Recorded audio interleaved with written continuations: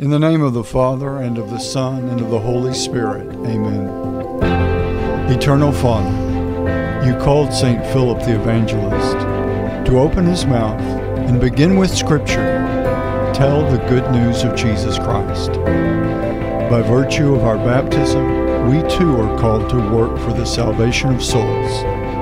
Instill in our hearts the zeal of St. Philip that we may convert hearts and minds to your Son, Jesus Christ, our Savior, who lives and reigns forever and ever. Amen. In the name of the Father, and of the Son, and of the Holy Spirit. Amen. Welcome to the St. Philip Institute podcast, where we talk about how to teach the Catholic faith to your family, to your friends, to your coworkers, and really anybody you encounter. We want to empower you to have the knowledge of the truth and the love of God so that you may bring others to Him.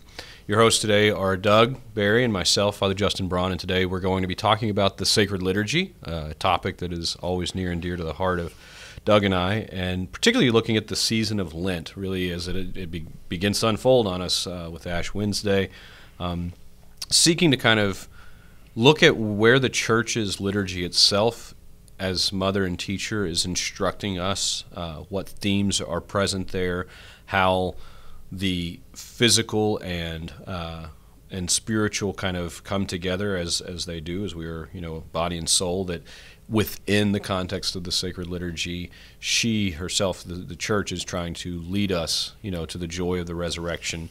Um, and we really want to just kind of broaden that to, to an understanding of how to live our discipleship through a deeper love of the sacred liturgy. Um, and it's, it's really always fun to kind of go around the, the churches in the diocese. And, and, I've never been there during that time, but during uh, Lent in Rome, there's the stational churches, church visitations. And you get to see a little bit of the local flavor of how each parish uh, looks at the the instructions that are given by the church as general norms and then how they're applied. And so it'll be fun to, to hear from Doug. Maybe you can tell some of your fun Nebraska stories about what church looked like for you as a kid going to Lent. My Nebraska sweatshirt on today. Yes proudly representing the Huskers today. And uh, and I'll talk a little bit about yeah my life here in East Texas and then kind of the experiences uh, outside of uh, the, the piney woods. But really we, we're looking to offer um, you know, to all of our listeners uh, an opportunity to maybe be more attentive, even just to the liturgy itself throughout the season of Lent. Maybe you can't go to daily Mass all the time, which we'll talk about that too, but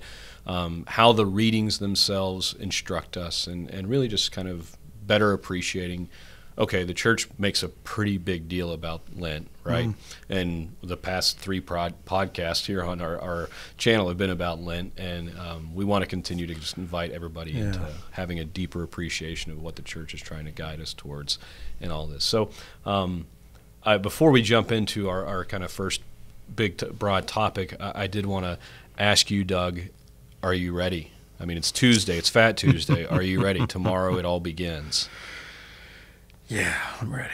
Yeah, yeah. I, I do. I, I mean, I love this time. I, I do. Um, you know, growing up as a kid, you you have the you know, what are you going to give up for Lent? You know, sort of questions to get out there, and I'm going to give up chocolate. You know, I'm going to give up uh, chewing gum, ice cream, things mm like that. And you know, hopefully, we go deeper than that as we get older, and we start to really open up and explore a little more, unfold, peel the onion back. You know, all those little metaphors that talk about really getting into what it really is about. Right you know the church has you know you kind of have these two main uh, you know sections of, of the year. You have advent and you have lent and they're two major sections of preparation right. for something amazing. And they're very connected. Right. Ultimately because the birth of jesus was for the purpose of him laying his life down on the cross and rising from the grave. So you have this deep connection between advent and lent in that respect. And and so I, I love lent because it's a time where you get to kind of gear up you get to roll up your sleeves you kind of get ready for that fight, you know, uh, because it is a spiritual battle. And, and really what struck me, I'm going to jump ahead in the show here too much, Father, okay. but what really struck me was the year, the day, the moment, and I don't remember when it was. It was years ago, though, that I, I really paid attention to the fact that before Jesus began his public ministry, he went into the desert for 40 days and 40 nights mm-hmm. and fasted and prayed. And it was so intense and so powerful that the devil himself comes to our Lord to tempt him Mm. And he throws scripture at him. He throws the word of God at him as a as a way to try to twist, you know. Right.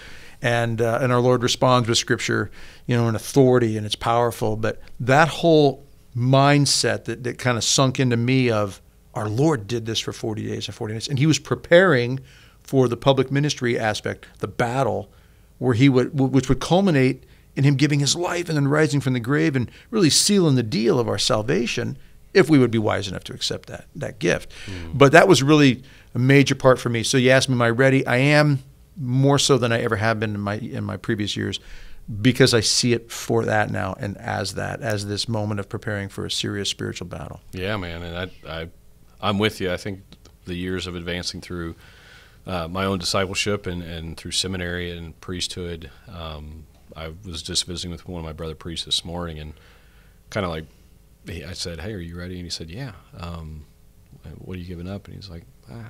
"I mean, we kind of." Not not in a braggadocious way, but we, we really both try to embrace as you and I've talked mm. about Exodus 365. Yeah, like yeah, you're right. Yeah. The the this time of year, there's going to be some little things that may change just to you know more deep in our mortifications or adding some extra times of intentional prayer. But right. um, but this great joy of of living our life for God, um, constantly being conscientious and and more mindful of how we are following him. Yeah. You know, it does. It's just fun because I was telling him it's it's nice because it seems like everybody else is kind of on the same page for a while, which yeah. is really it's yeah. exciting to see the the young kids in your parish getting excited. You know, I, I teach a lot of uh, formation and young kids telling me, "Father, I'm going to be giving up this or that for you know." They're excited. They're genuinely excited, and even if it's something yeah silly. Um, in my mind, in their mind, it's huge. And right. the fact that there's a desire to give it up, and they actually can even articulate and kind of name, yeah, I'm doing this because I love Jesus and I, I want to get closer to Him. And I'm okay, awesome.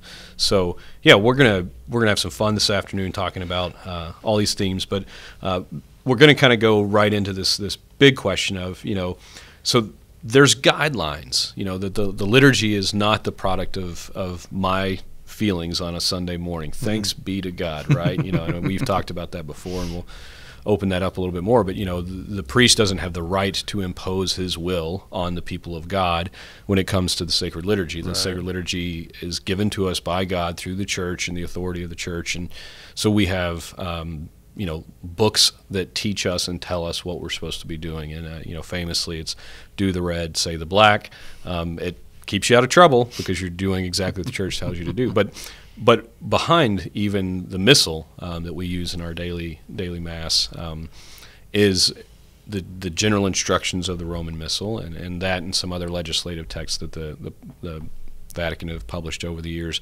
help to guide and give us a, an insight into the themes of the seasons that we're celebrating. And um, this special character of of Lent is for me, emphasized in two ways. One is silence, mm. and the other one is a deprivation of, you know, joy, but not to the point of extinguishing the joy, but in a way more faithfully building up the reason for the joy. Mm. So, you know, I'll get we'll get into practical examples in a little bit, but I, will take that and then I want to kind of turn it to you and ask you what the season of Lent through the Mass kind of helps you better understand. But silence first is, you know, in the general instructions of the Roman Missal, I think it's number 56, it, it talks about the need for silence um, to promote meditation. And uh,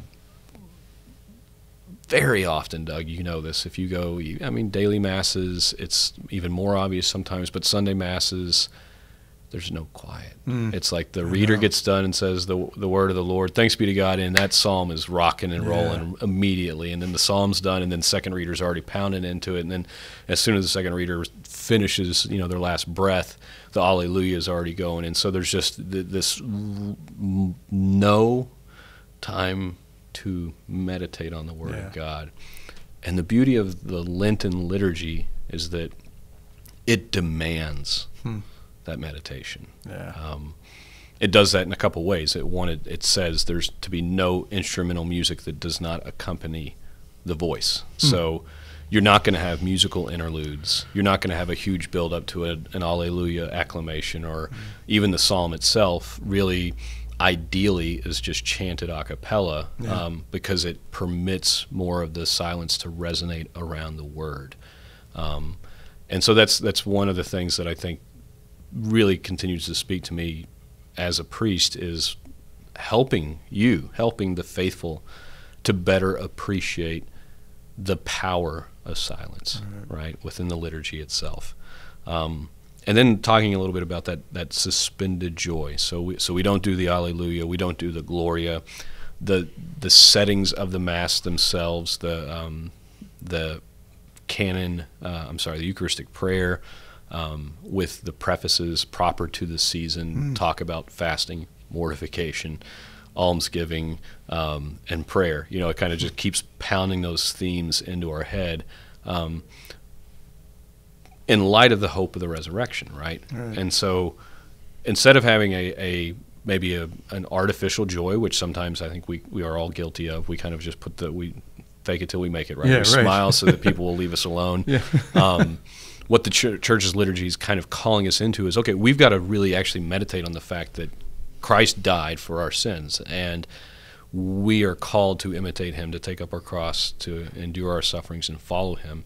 And the liturgy is providing that literally in the Word of God, like reading through Isaiah and reading the suffering servant, um, and then in the Gospels, just kind of seeing the build up to the great, you know, the, the great days of the Passion. Um, that we constantly are kind of encountering that need to let go of the illusion of joy we have in things of the world Yeah. and really focus on the joy we actually have and the hope that comes from the gospel.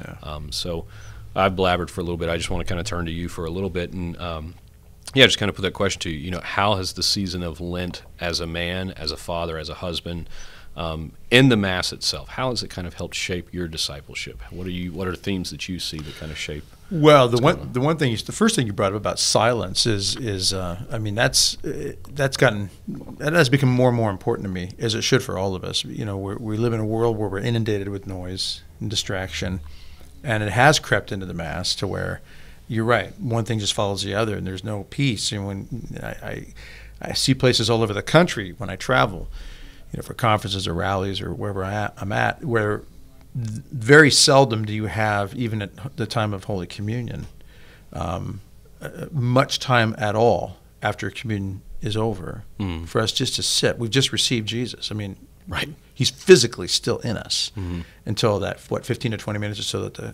for the for the natural aspects of the host to break down the accidents of the host. But in that time period, what a moment just to have that time of silence. But instead, we're looking at the watches. We're wanting to check our phone. We're so caught up in these things that when Lent comes along and when it's done right, and you know what I mean by that. Yeah, yeah. Some places it isn't done right. We're following what the church has wanted us to do, and what our Lord really is reaching out for us to do is is to choose to set those things aside and have the time of silence. And hopefully that becomes 365 then, Mhm. uh, our whole life, where we set time aside every day for the silence to be with God. You know, the famous, you know, passage in the Old Testament of Elijah going off into the cave to search for God, trying to find God, hear God. It wasn't in the earthquake, it wasn't in the storms and the winds and all this. It was in the it was in the whisper. Mm-hmm. And and you can't hear a whisper unless there's silence. If there's too much noise going on, you're not going to hear the guy whispering across the room. You can be standing right next to somebody whispering, but even within a couple of feet, if there's all kinds of noise and they're choosing to be distracted by the things around them, they don't hear the whisper. And if God's really truly trying to whi- whisper to our hearts, really down deep inside the core of who we are as men and women of all ages, then we have to choose this. That's one of the things I really like about Lent and the way the liturgy is celebrated at this time. When you do remove certain aspects to allow, as you said, Father, time for silence, for deeper reflection, we're built for this. Mm. You know, one of the things that really struck me years ago, I read a book. I was challenged to read this book, Fire Within by Father Thomas Dubay. Great book. Yeah. Oh my goodness! On the contemplative life of John, Saint John of the Cross and Saint Teresa of Avila, who were good friends, both mystics, both saints, both doctors of the Church. Wow! Imagine hang out with the right people, you know. Right. And uh, they both uh, they both speak so powerfully of the fact that contemplative life is not just for religious. Everybody has an aspect of them that has to have that contemplative side, and Lent gives us an opportunity for that. I just encourage anybody listening or, watching right now to really look at the day and those of us who are lay people, I mean, it's easy for us to be so distracted with kids and extracurricular activities, and, and anybody can do this. But as as a lay people, we well, you know, it's uh, it's different for me than you, Father. You have to have your hour of adoration. Mm-hmm. You have to pray the, the, hours, and and you have to have your you know your readings. Yeah, but you know what? I've got other things to take care of. It's like, are you kidding me? There's nothing more important. No, I need to I need to I need to take time every day to talk to my wife. Mm-hmm. I need to take time every day to set everything aside just to make sure that she knows whether it's a phone call or whether if I'm out of town or something, or whether you know if I'm home, we need to make time every day to be in the presence of each other at the dinner table, in the living room, sitting in the same room, both reading, both praying, maybe praying together, praying apart from each other, but we're, we're there, right? And we make the time. We don't just have to. We don't just fall into it. We make the time for it. So Lent to me, opportunity, the liturgy, the way it's celebrated during Lent, great time for us to just really look at Am I allowing the distractions to consume me? Am I consuming these things so much that they're consuming me now? Or am I setting those things aside and letting the silence, these moments of peace and reflection, allow me to go deeper? Am I choosing to go deeper? Because if I don't, I'm missing out. And then that joy part you mentioned, just real quick on that, comes to mind is you're right, superficial joy. Hey, how's it going? Hey, everything's really good. Inside, where's my heart though? Mm. Is my heart really in, in this moment of joy. And the true the truest joy is when you're with the one that you love the most. Even when they're suffering and they're in pain, you're with them because you know there's something about this relationship that must be must be embraced and must be nurtured and cared for. Yeah, and I'm so thankful to God. Like it, has been a a whirl whirlwind of sorts at times, trying to figure out how do you how do you explain to you know the six year olds and then you're talking to the at the school and then you're talking to the eighth graders and then you're talking to the college kids and you know breaking it down as simply as possible i think that's the beauty of the church mm. church's teaching is that she really is just trying to emphasize very simply through the instructions she gives us for this season is to really focus on that silence mm. to focus on not being distracted by sights and sounds and smells and bells and all the things that, right. that do make the liturgy in so many ways very beautiful, but kind of stripping it down to its essence and what it's supposed to do is to bring us into an encounter with with the living God, to hear the whispering voice yeah. in the stillness of our hearts. And so, um, I think encounter is a great word to think about. Yeah. Deepen that, that encounter with the living God. Yeah, and I so where are we going to go to encounter the living God. So we, we have the gift of the Eucharist. We have our, our Lord, body, blood, soul, and divinity that's a prisoner in the tabernacle and waiting for us to come visit him. Yeah. Um, but even in our homes, we kind of have to, we, we look at how the liturgy affects us in the proper prayer of it, but then we take from the liturgy, we take from the gift of the Eucharist into our homes. And one of the things that I, I friends of mine have done this before, and, and I think it's genius, is they they do a little ceremony where they, they write out Alleluia on a piece of paper and on Ash Wednesday, um, they take you know with their kids, they go out and they bury that piece of paper. Hmm. Um, don't dig a deep hole or anything, and, and but they bury that piece of paper. They give a little catechesis to their children about what they're doing, why they're doing it, um, and then on Easter Sunday morning, um, they go back and they dig up that piece of paper, and hmm. you know it's covered in dirt and it's kind of faded or whatever, but what a way of reinforcing the joy yeah. of of Easter, yeah. uh, but also recognizing in a, in a physical way, and we need this as humans. We need physical things to remind us, like, yeah, we're going to enter into this season of, of penance. We're going to enter into this time in which we're not singing the joy of Hallelujah because we are anticipating the joy of the Alleluia. Yeah. Um, so I, I, think there's a lot of practical things that, that roll out from what the liturgy is telling us to do. Um, so I talked about a little bit about the general instructions of the Roman Missal, or, or for short, it's the GIRM. Mm. Uh, it's one of my favorite acronyms because uh, we just say it's Germy, you know, in seminary. But uh, kind of looking at the famous maxim "Lex orandi, lex credendi," how we pray is how we believe, um, and the shape of the liturgy in this season takes on some some other particular notes that I'm going to kind of talk about, and then I want to kind of just get your reaction, really, just in turn. And these are things that I know you, at least at some level of recognized, but mm-hmm. maybe it's not been point, pointed to you. And I, I, that's one of the things we're trying to do is teach people how to how to talk about this. So, sure. first one I'm thinking of is no flowers no flowers during Lent. That's in the general instructions of the Roman Missal, with hmm. the exception of solemnities and the fourth Sunday of uh, Lent, which is called Laetare Sunday. It's during uh, Advent. It's the second Sunday is uh, Gaudete, uh, or third Sunday. I'm sorry, is Gaudete Sunday. But the church specifically says there's to be no flowers during the season of Lent to adorn the altar, to adorn the sanctuary. And I'll be honest with you. I mean, as a young dude, I, I could care less. Like, like I, you know, as a ten year old boy, I don't even know that there's flowers up there. Honestly, right? Yeah. And you probably didn't notice I either. didn't pay that much attention to it. right, right, right. And then as you get older, and maybe for you is because oh, I got to buy flowers for my wife. For me, it was just why.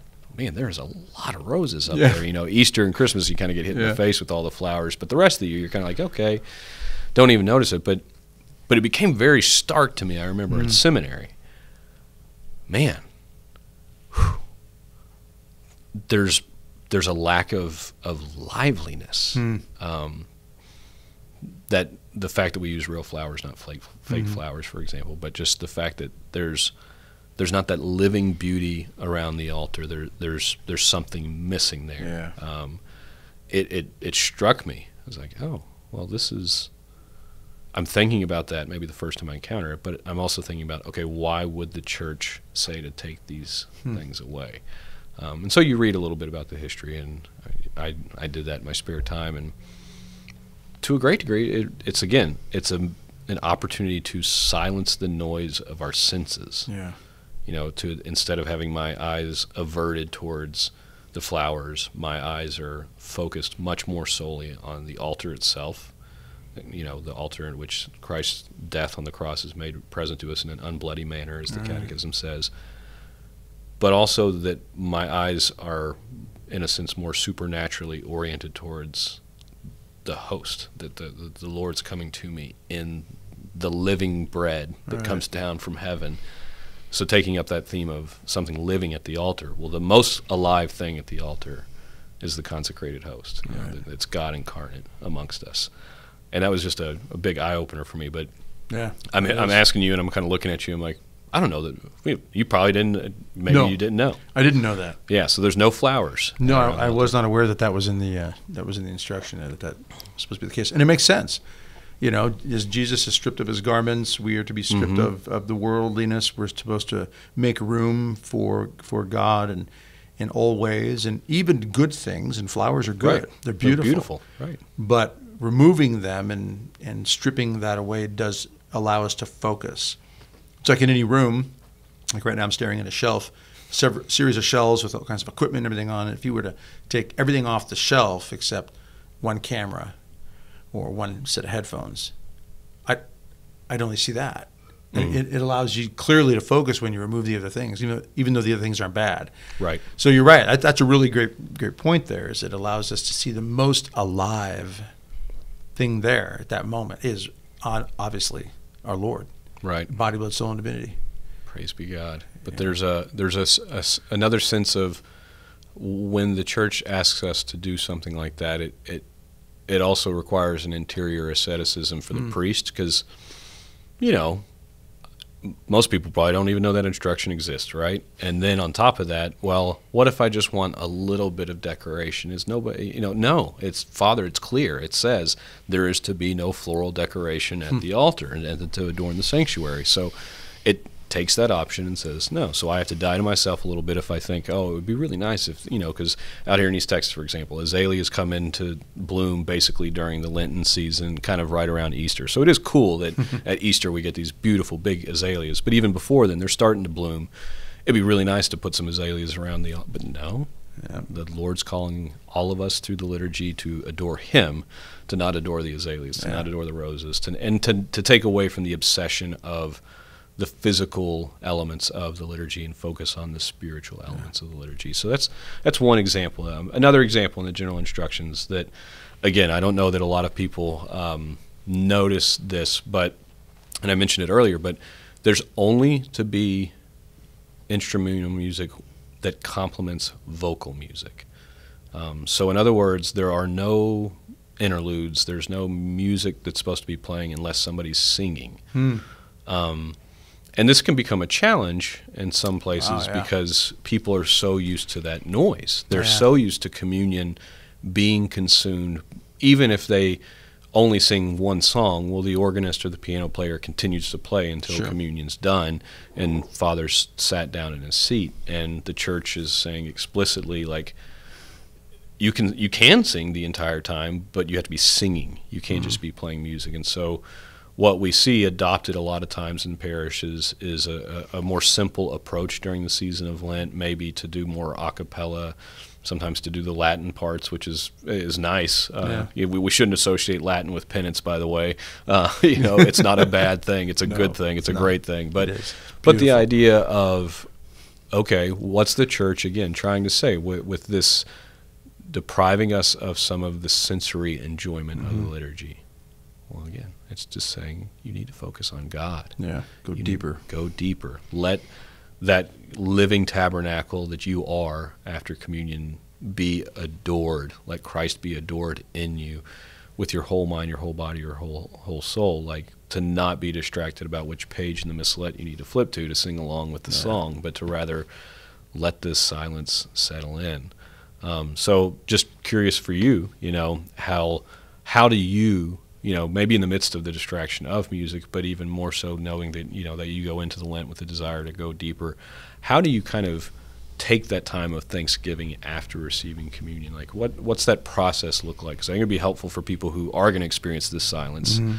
Oh gosh, now I've got maybe two to seven minutes of silence while communion's being distributed.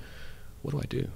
Yeah, I, for me, I mean, you know, the word solemn comes to mind. It's a solemn moment. It's it's a it's a it's a reflection. Um, uh, you know, on a natural level, I think a lot of people get kind of antsy. You know, we get antsy if I'm not doing something, and a lot of people got that that that knee shake thing going. You see people sitting there and they're just Restless leg syndrome. restless leg syndrome. I guess yeah, I call it that. But they're just they're ready to they're ready to go. I'm at mass and I'm ready to move on. You have to take deep breath. Like for me, we we start slowing down like that. I just have to just breathe in, take a deep breath, let it out, relax, and know. Just know. It has to be a, to me. It has to be an, an actual decision choice you're making inside. I know I'm here. I know what this. I'm supposed to know what this is about. What's going on here? I know I've just received Jesus. Although that leads to the problem of people not believing Jesus is truly present in the Eucharist, and then they don't know that they've really received Jesus. Right. That's another podcast.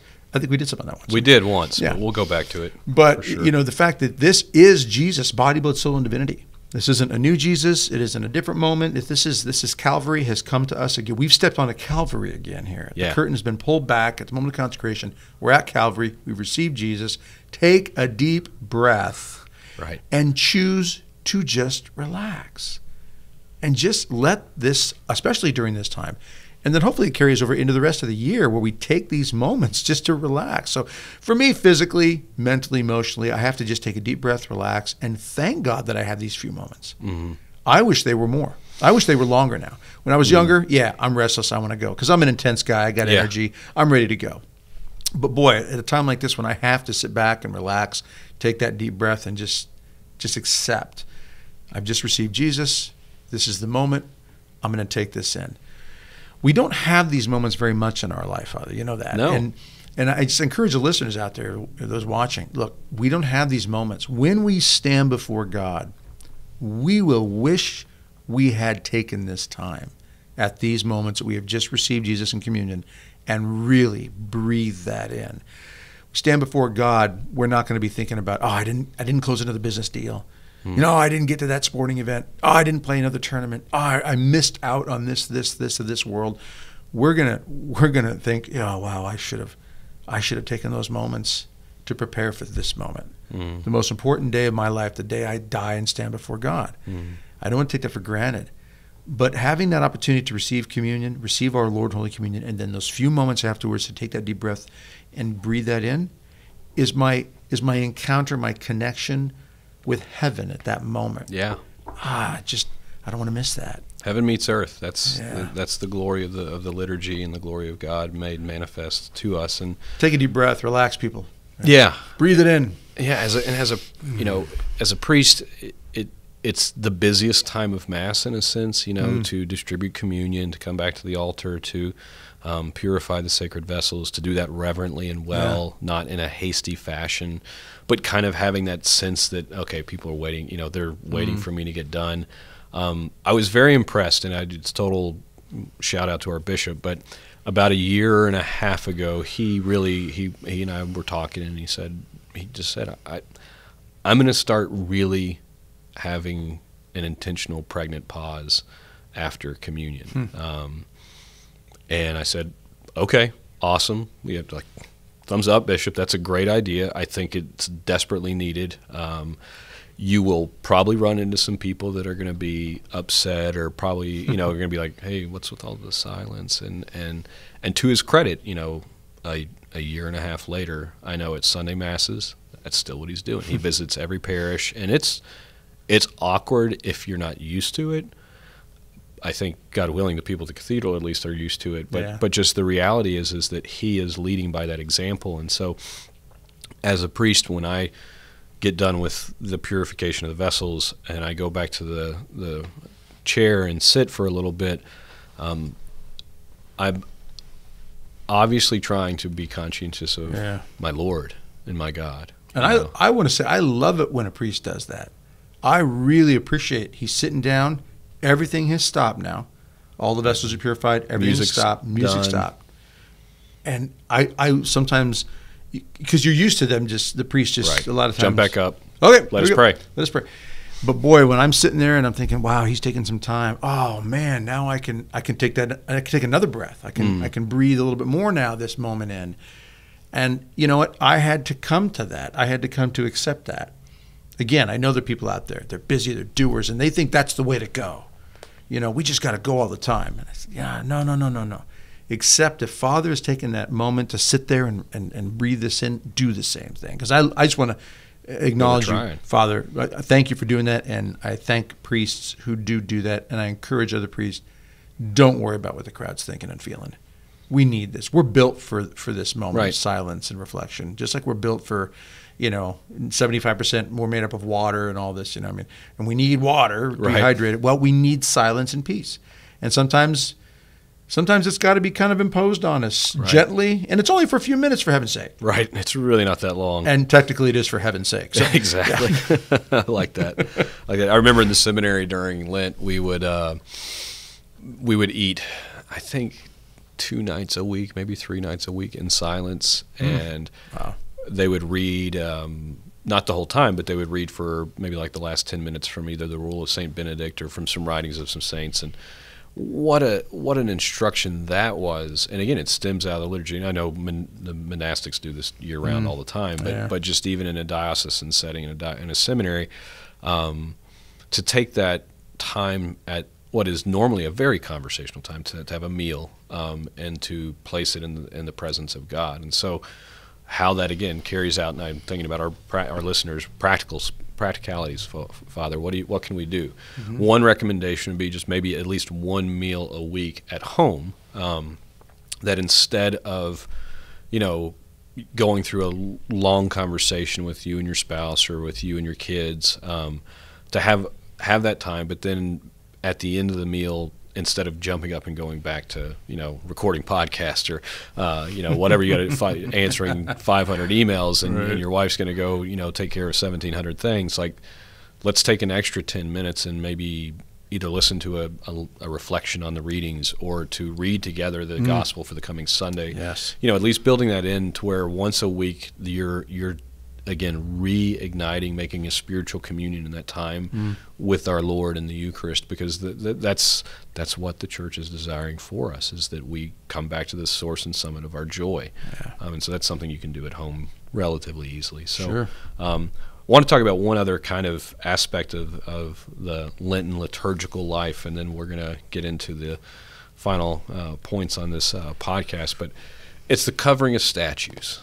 You know, yeah. Um, as the boy from the South that I am, uh, this really always threw me off as a kid. and and it's sure I'm sh- I know I asked my priests hey, why do we do that? And you know, I had an Irish priest my first 15 years, and I had a, an, an, uh, a native Texan next 15 years, and they probably told me exactly what I've been reading, but I don't remember. Um, and I kind of feel like I'm like most Catholics out there, like, oh, statues are covered, something's happening. um, but yeah, so the instructions, going on yeah, here. something's going on here. But the instructions are are pretty clear in the general instructions of the Roman Missal again, um, in the season of Lent that you can, starting with the fifth Sunday of Lent, um, cover all the statues, um, and it's not rocket science. Why are we covering the statues? To again, kind of focus us interiorly and through our senses on our Lord Right. alone. Right. Um, to kind of these are goods. As we're talking about, it's not that any of these things are bad, but these things can become a source of distraction. So it's a really intense thing. I can say from the priest perspective to cover all the statues in a church. Like it takes time. I, I'm, hey, I'll be the first to tell you, I don't do it by myself. I do it with a team of people, and depending on the size of the church, you you could be talking. I think of St. John Cantius in Chicago. There's probably 300 statues in that place, right? Like it's it's insane. Or think about St. Peter's. Yeah. Can you imagine? Um, but all of that's done so that we can focus on God Yeah. present in the Eucharist. And I, I can't help but think about the church's, you know, admonition there. What are we trying to do? We're not trying to take away from the saints, not trying trying to take away from the Blessed Virgin Mary and her great intercession for all of us. But what we're trying to do is, again, lead us back to that gospel that you were talking about that Mm. we'll hear this coming Sunday is our Lord was led into the desert for 40 days and 40 nights and fasted and prayed so that he could live for his father, so that he could show us what it means to live out of love for the father. And so we're kind of getting the chance to do that again in a, in a, in a much easier way. Like yeah. we're not in a desert. No, this is not. I'm, in- I'm in an air rough. conditioned church. Yeah. Uh, the statues are covered. Oh well. Um, Cushion pews normally. cushion exactly Cushion kneelers. right exactly so um, so in that little way our senses are being deprived and we're having to kind of endure a suffering we don't get to see the beautiful images that normally adorn our churches Yeah. but um, I, I think that's such a, a- a powerful thing Right. you know and, and i'm wondering for you because you did grow up in the midwest where this catholic culture is more obvious and you couldn't find a church that that you know didn't have st- statues covered and images covered so Mm-hmm. Well, how it struck you Yeah, and I mean, for me, I mean, I, I didn't see it when I was younger so much as this is the church's way of trying to help me focus on, on Christ more. Um, what what I took from it, and no one really actually explained it to me. Like like Right. just okay, the church is doing this for the purpose of really trying to funnel all of our attention, focus, interior, exteriorly, to Christ. But I took it as, man, I miss them. Mm. So I loved it on on uh, you know Easter Sunday, or if you go to the vigil on Saturday right. night, and the bells are ringing, and all Right. the all the cloth comes off the statues. Oh, that that was exciting. Mhm. It's like, well, they're back. Hey, Right. Hey, like- guys. like, just go back into the room. Hey, how's it going? We're hanging out. We're together again. Yeah. You know, it's a very simple way of putting it, but it is a deeper appreciation. What I would help, what it helped me do is appreciate the family aspect of the saints, and also the visual aspect of who we are, our humanity. That we visually, we see things and we connect when we see. right So, uh, you know, and this could be a point of, you know, apologetics for those who claim, you know, you worship Mary, you worship statues and this and. So, no, these images help us connect with who this is an image of. right And that is, that's very, very important, very deeply important that we understand that we are a family. And, you know, the whole, the, the church broke into the three parts church triumphant, church suffering, church militant, and so forth. Right. We're the church militant, we're still in the thick of the battle church suffering, poor souls and holy souls in purgatory, and the church triumphant those in heaven. And when you cover up those souls that are in heaven, the church triumphant, the saints, you miss them. Yeah. Because they're part of your family. right right So go home and cover your picture of grandma and your mom, your dad, your children, your loved ones, and just leave it that way for a few weeks and then realize, wow, something's missing. And then when you uncover it, it's, oh, yeah, the relationship. So to me, that was a major part for me, was it helped me appreciate the family aspect of who these saints are and what they have done. And then when you go deeper in understanding the saints, then you realize they were focused on Christ. Right. So they're there to help remind me to, point. point. to Jesus. Yep, and that's what they do, and that's uh, that's uh, really that's so beautiful, man. I, I'm so glad you brought that up because I, I certainly have never thought about it that way. I, I've I've begun to think more about what the church's specific instruction talks about. So on Good Friday, it says you can uncover images of the crucified Lord, Mm. Right. Which For veneration purposes. prevent, yeah. purposes of veneration, which makes sense. Yeah. And then on Holy Saturday, um, in anticipation, uh, so sometime before the Vigil Mass, that Mm. you can uncover, or in some places where you got a, a really with it priest who can coordinate those pieces, like the lights come on, if the glory of the statues are Yeah. unveiled, the Yeah. bells are ringing. Like that's a super Ah, that awesome. liturgical moment to, to really let the beauty of all of our senses be engaged fully in what's happening. And when you think about it, it, this is that's the only moment in the history, or, or, excuse me, in the entire year that happens. It is, yeah. Uh, One moment right there on Saturday at the vigil. Boom. it's what the whole church's year builds towards and Yeah. pr- proceeds from. It's it, so we call it colloquially. It's the Super Bowl of of of the year for us as as priests. Like it's a real tough couple of quarters getting there, but the joy of you know the Easter Vigil, the joy of welcoming you know God willing catechumens into the church, but Sure. the whole life of the liturgy comes so fully alive that evening with the fire and everything. So, and we're going to actually do an episode on Holy Week itself later on. So, we'll be getting more into those details. But uh, I want to move into just kind of the third part of this and then into the chariot. Um, we've been talking a lot about how the liturgy forms us and informs us. And uh, again, general instructions of the Roman Missal. Anybody can read those. They're online for free.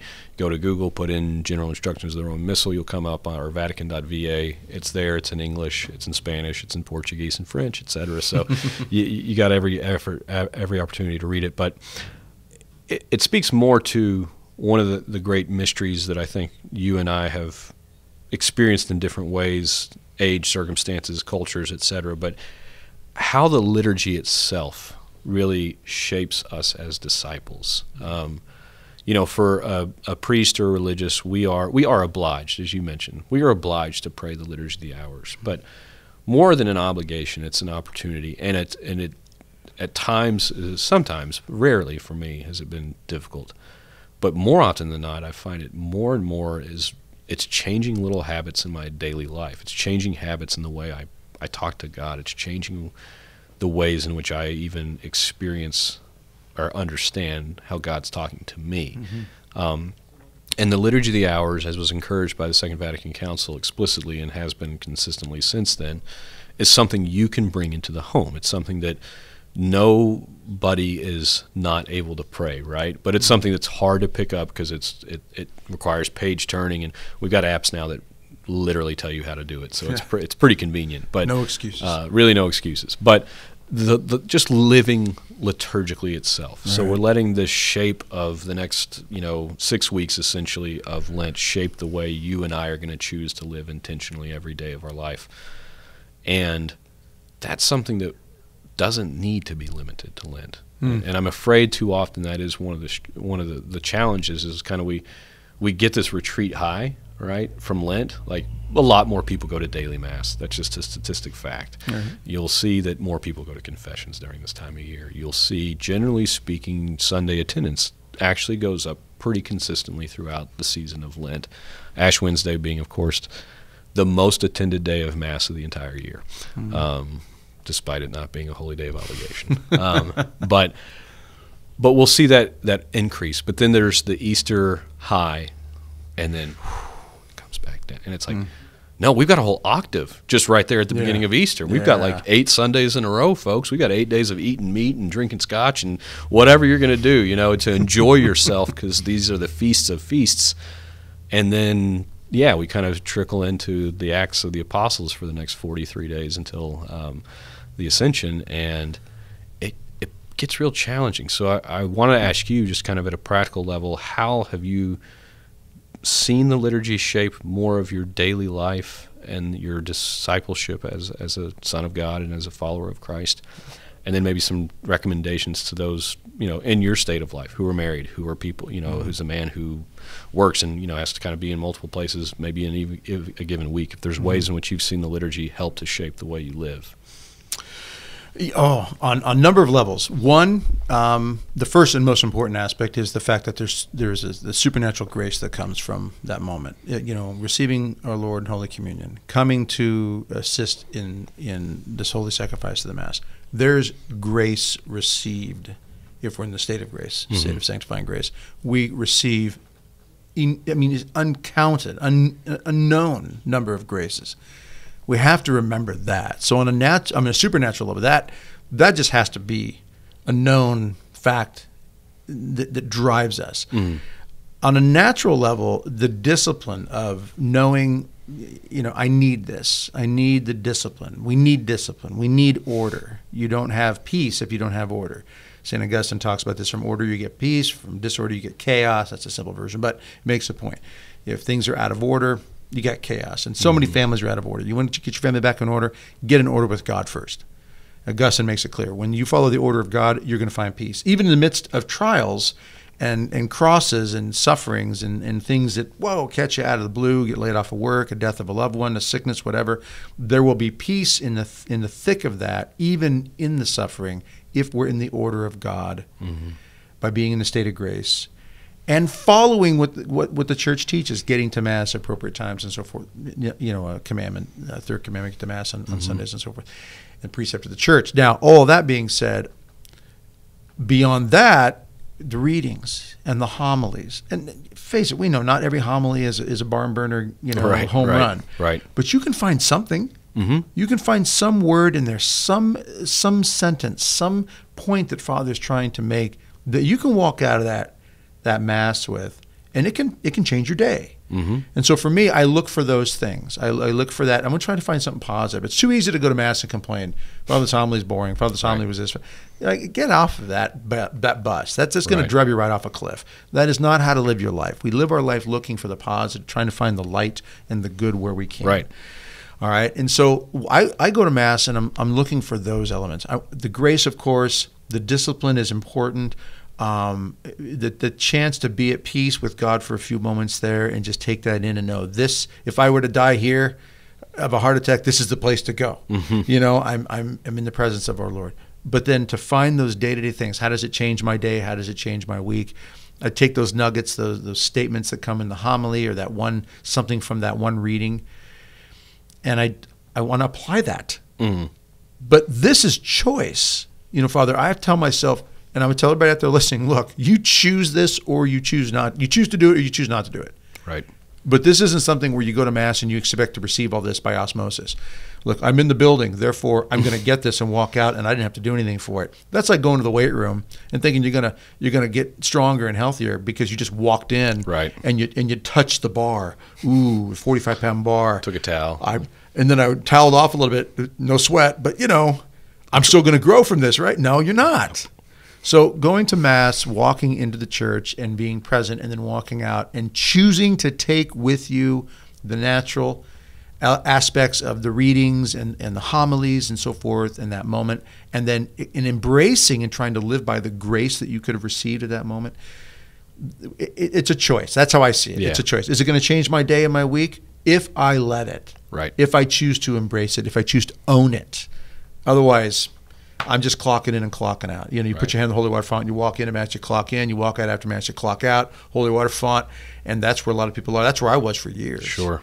Until I chose to embrace it and make it my own. Right. Well, we've got a beautiful opportunity, I think, coming up with, with this season of Lent, and uh, we want to just encourage all of our listeners and viewers to to really be considering how silence is going to be integrated into your your Lent. Uh, obviously, the the recommendations are there for the liturgy itself, but also what are you doing at home? How are you embracing more silence at home? How are you living joy in an authentic way? Um, where is that joy, source of joy? Is joy coming? You know, I, I've I've got nephews and nieces and grandnephews, and and uh, one of our coworkers here just had a, a sweet little baby boy, and you know, I find a, a sincere and deep joy in children, and, and, and holding a baby, and you know, listening to my nephews and nieces talk about what's going on in their life, and and that's that's an authentic joy that comes from you know sharing in the communion with one another through the gift of the church and through Christ, but but being conscientious too that even though these are goods and th- these are joys that I sincerely desire and want to have, uh, my greatest joy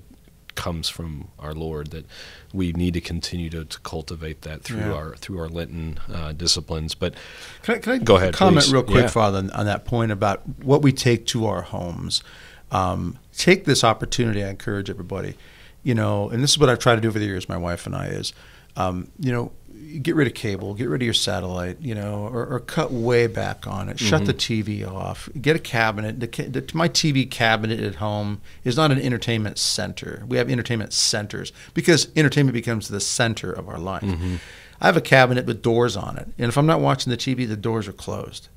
I want Great. it out of sight, out of mind. Right. It's been that way for years. I don't want that TV to be a central part of my life. I don't want entertainment. I don't want worldliness in general.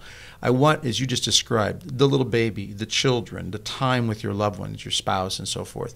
You know, make time happen that way in your mm-hmm. home. And I'm, I'm telling you out there, everybody listening and watching, this is a choice.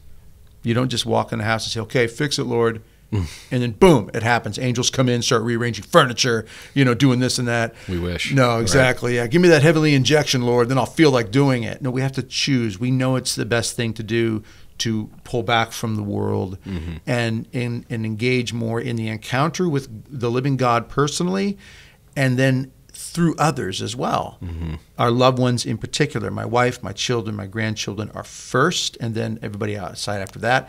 But it starts in that home. But I just encourage people shut the TV off, shut the computer down a little more often. You know, put the phones down with all the screens and the games Right. and all this. Spend time, have meals together, look at one another. Play a little music in the background, a little ambiance music, that's Mm-hmm. fine, you know. But let's communicate with one another. Look each other in the eyes, shake hands, hug, Right. be together. Right. Ah. And then be intentional about if you are going to be doing something on a screen, what's it actually for? And, Yeah. and is this benefiting me? Is this helping me to grow as a saint? Helping me as a businessman, or you know whatever it may be, but just not being wasteful of that time, and and Which makes it more, int- you're intending to do it for right, a particular it's a volitional choice. R- correct. Once again, And if there's a little recreation, like I want to play a word, you know, a, a word puzzle or something, Mm-hmm. okay, fine. But don't let it dominate you. Right. And don't let it override the more important uh, other people in Right. particular and God in your Right. I life. thought I, Pope Francis just the other day. I think this was on Sunday at his Angelus. Uh, was talking about you know all the fasting from chocolate and beer and whatever else. If it doesn't lead to love of neighbor, then it's in vain. And he's right on the Yeah. head. He hits the point right Sure, on the head, absolutely. as he so often does. You know, he's got these zingers that come from a, a South American that you know any American bishop would probably be afraid to say, but he's just like, there it is. but it's true. Like the fasting, the mortifying of our senses, the the intentional prayer, and the almsgiving that is part of the tradition of our, our life during Lent. It is to lead to a fraternal charity. It is to have a, a, a, an aspect of going to the other and. Lent in the home needs to be lived that way. We had a great podcast episode last week with Mickey and Luke Arredondo on Lent in the home, um, and so I'd encourage people to go back and maybe watch that or listen to that if you haven't already.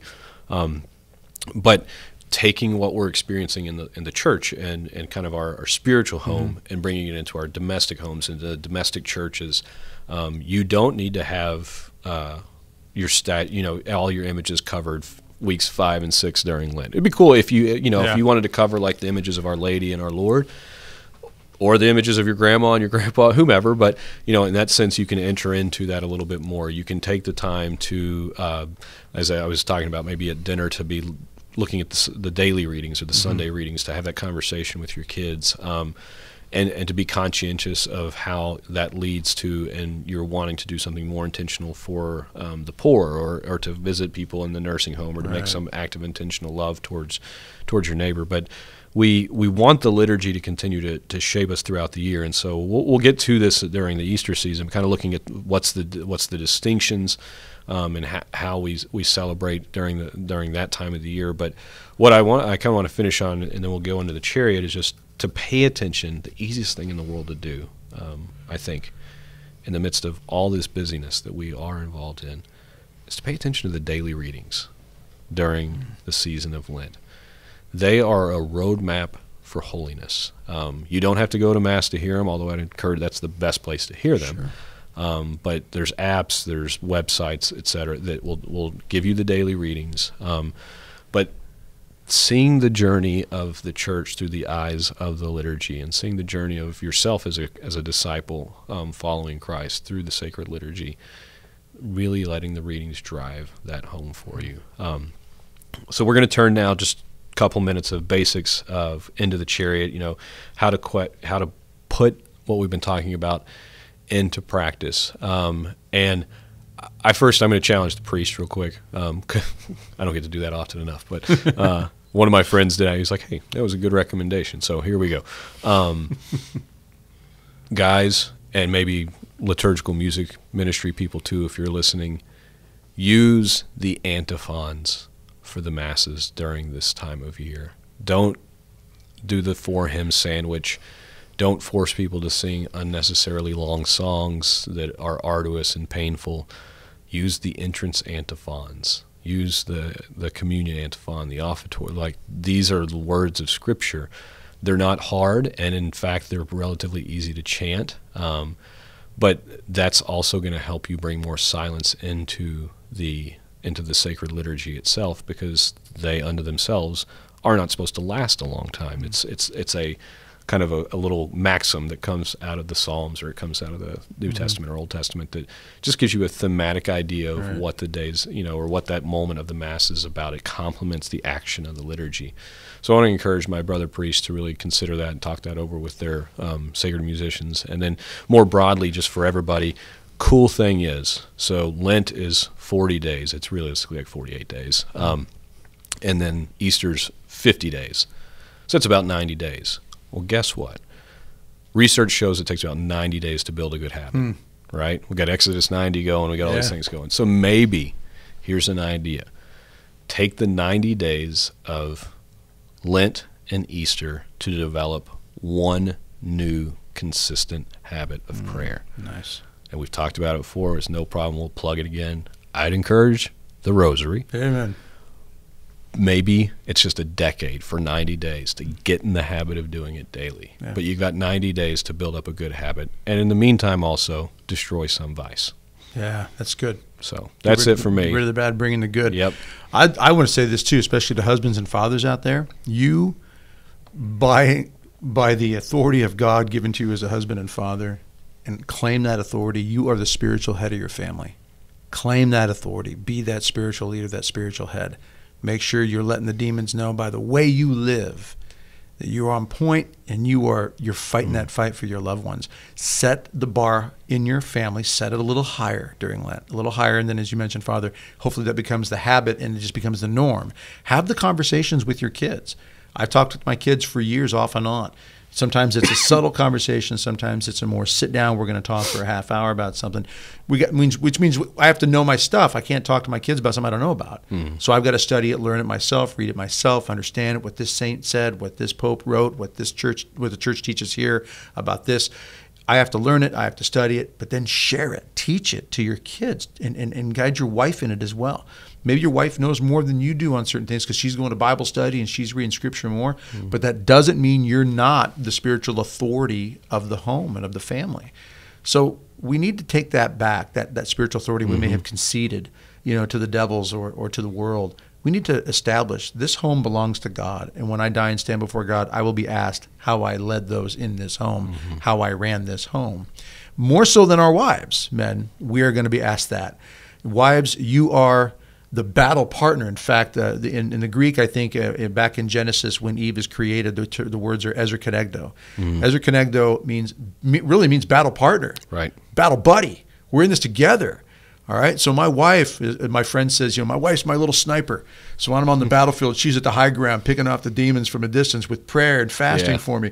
So ladies, you are just as much part of this, but the father, husband, you're the spiritual head.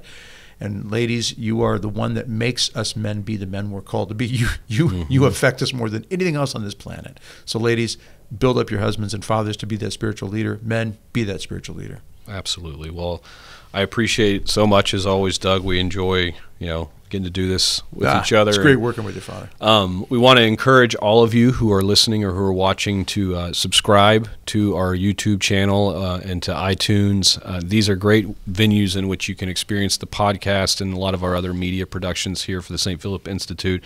And if you have questions uh, or future episodes you'd like to hear about, please send us an email at podcast at stphilipinstitute.org. We want to give thanks to God for this great season of Lent that's upon us and ask for our bishop's blessing.